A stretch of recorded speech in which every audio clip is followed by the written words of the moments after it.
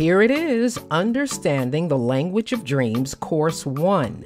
In this course, you'll learn why dreams are so mysterious. You'll learn about the six visional states taken from the Bible relating to visions. You'll discover the different domains of a dream.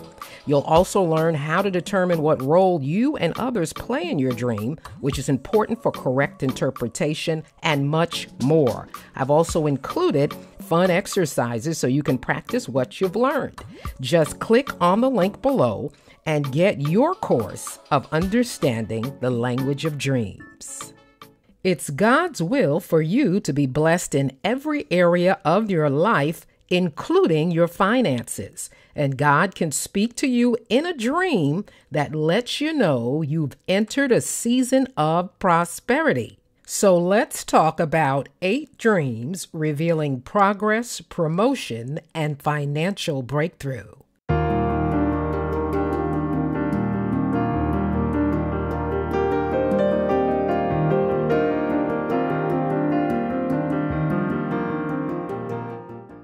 The Bible says the earth is the Lord's and everything in it, and that He owns the cattle on a thousand hills. Like a good father, God wants to bless and prosper you in all areas of life, and that includes your finances. Prospering financially empowers us to be a blessing to others. So, I'm going to talk about eight dreams revealing progress, promotion, and breakthrough. Number one, rain. So you can have a dream that it's raining outside, but yet it's sunny. You're enjoying the rain. You feel very happy. You feel optimistic while you're standing in the rain. This could represent that you'll soon experience showers of blessings. In Ezekiel 34 26, God said, I will send down showers in season there will be showers of blessing. So, depending on what's going on in the dream, rain can be pointing to a financial breakthrough. Number two, money. So, receiving money in a dream can be literal. It can be revealing that you're entering a season of prosperity and that God will cause others to bless you. Likewise, if you dream that you find money, this can also be speaking that financial breakthrough is on the way. So, receiving money in a dream can be showing that your time to prosper has come. Number three, a cow. In biblical times, cows were a symbol of wealth. The Bible says that Job was wealthy and had, among other animals, a thousand oxen. And in Psalm 50 and 10, God said, For all the animals of the forest are mine, and I own the cattle on a thousand hills. So you may have a dream that you're caring for a cow, or perhaps cows are in your yard, or you may be milking a cow in the dream. Now, a cash cow is an American expression, and this means a business that produces a steady flow of cash over its lifetime. So, if you dream that you're milking a cow, this could be revealing that you're about to receive a flow of prosperity and abundance. Number four, open doors or gates. So, dreaming about an open door can represent a door of opportunity, including a financial door of opportunity.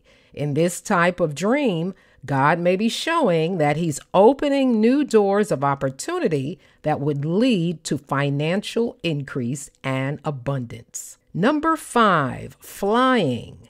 So you can have a dream where you're flying and this tends to represent elevation or soaring in a particular area of life. And one of those areas can represent financial increase. God may be revealing that you are going to another level in your finances and that you're going to experience growth and increase concerning your financial situation. Number six, milk and honey. You can have a dream where you're drinking milk with some honey in it. In Exodus 3 8, It says, I have come down to rescue them and to bring them up to a land that is good and spacious, to a land flowing with milk and honey. Milk and honey in the Old Testament was a sign of increase and abundance. So, if you have a dream where you're drinking milk with honey in it, or you're eating something with honey on it, this could represent that financial increase is on the way. Number seven, olives. In ancient Greece, olives were a symbol of peace and prosperity. In Deuteronomy 8, it says, For the Lord your God is bringing you into a good land with brooks, streams, and deep springs gushing out into the valleys and hills, a land with wheat, barley, vines, and fig trees, pomegranates, olive oil, and honey. Then in Psalm 128 and 3, it says, Your wife will be like a fruitful vine within your house. Your children will be like olive shoots around your table. So if you dream that you're eating olives or you're using olive oil, this could be indicating that you're in a season of financial progress and promotion. Number eight, fruit. So you can have a dream involving fruit, could be apples, oranges, grapes, all types of fruit. This could represent a spiritual or even a financial increase. In Proverbs 3, it says, Honor the Lord with your wealth, with the first fruits of all your crops. Then your barns will be filled to overflowing, and your vats will brim over with new wine.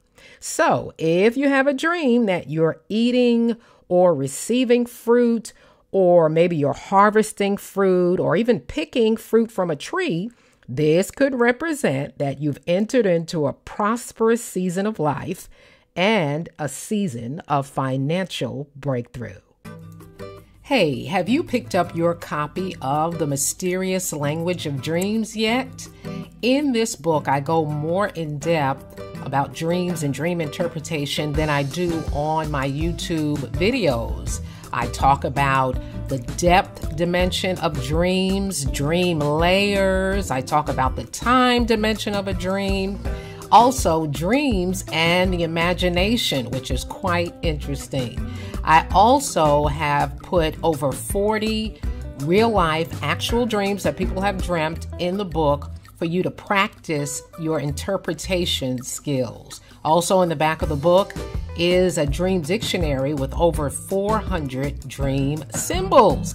So, I've left a link in the description box below where you can go and pick up your copy of The Mysterious Language of Dreams today.